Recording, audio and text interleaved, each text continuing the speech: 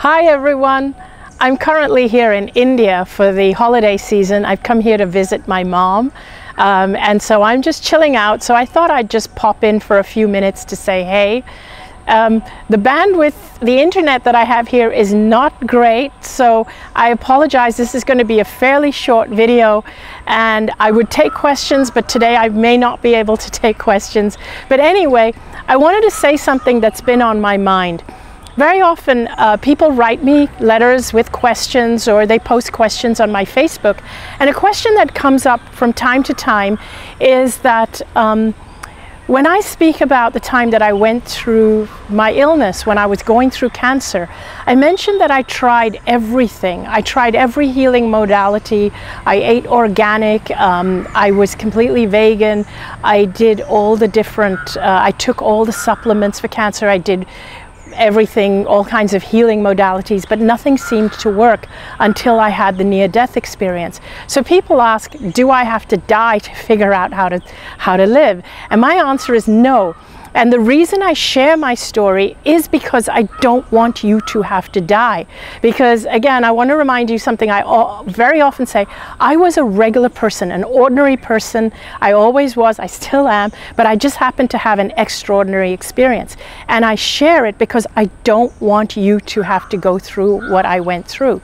And here is what I learned in a succinct point for me what I learned in the NDE that saved my life which didn't which I did not learn through all the healing modalities and everything I was doing. That one thing that one key element is that I never knew that I'm supposed to love myself.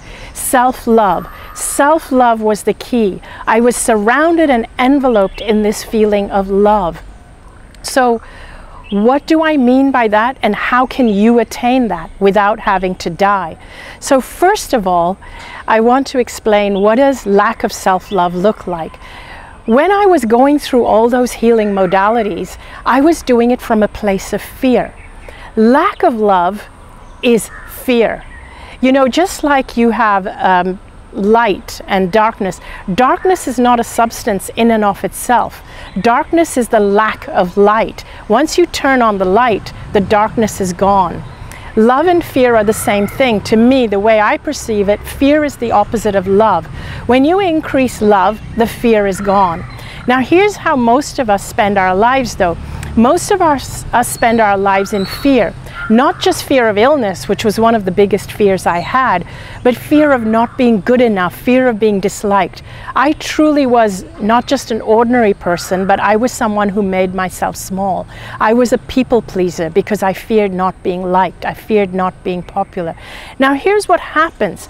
When you are in a constant state of fear, when you're in a constant state of stress, when you're in a constant state of depression, these emotions actually wear down your body.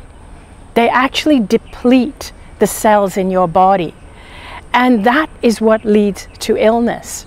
So no matter how much you um, do, you try and heal yourself, no matter how much you do the the exercises, the meditation, whatever it is you do uh, to heal yourself, no matter how much healthy food you eat, if you're eating the healthy food because you fear illness, you are still wearing down your system by the fear that you're feeling. Now imagine if you changed out those feelings of fear, those feelings of stress, those feelings of maybe even anger. Anger is another one that wears down your system. Imagine if you changed all those feelings out instead for passion, for love, for joy. That, those emotions are very healing to your body. They rejuvenate your cells more than any food, any diet, any healing modality. That is the key element I learned, is that we have to start focusing more on joy, on the love of life, on passion, on love of ourselves, of knowing that we are worthy and deserving of good health. That is exactly what I learned. That is the key element. So when you do eat good, healthy food, eat it because you love yourself. You love your body. You want to live long. If you're dealing with, a, with an illness right now, the idea isn't about being stressed about the illness, I mean, which is what most of us do naturally.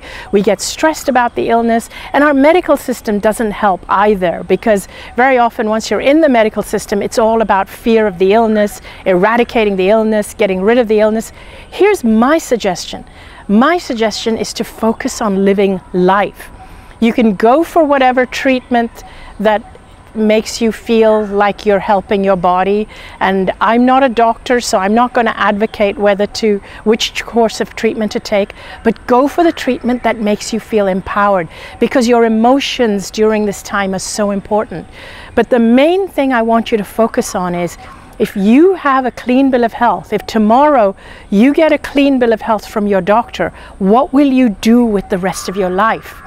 What will you do? Chances are the reason you got sick is because you have been living a fearful, stressful life or an angry life or all these kinds, all of these things have accumulated. So now, if you're dealing with the illness as a repercussion of that, I want you to start thinking, if I have a clean bill of health tomorrow, what am I going to do with the rest of my life? I don't want to go back and live that fearful, angry life.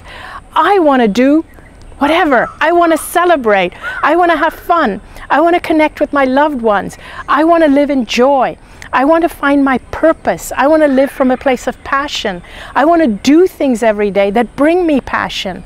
That's what I started doing after I came out, I healed from the cancer. And very often, the paradigm that we're stuck in, the medical paradigm, keeps you in fear of stress and triggers all your old emotions. They keep you coming back for more tests. They keep reminding you that you're in remission and things like that. If a doctor tells you you're in remission, I want you to tell yourself in your head that the word remission stands for it's time for me to remember my mission. I personally don't like the word remission at all because it keeps us in fear. The idea is to move your life forward into passion and love. That is the key element I learned in my near death experience. So live your life from a place of passion, from a place of love, from a desire to live, and not from a place of fear. Thank you for listening. I look forward to connecting you again with you again soon.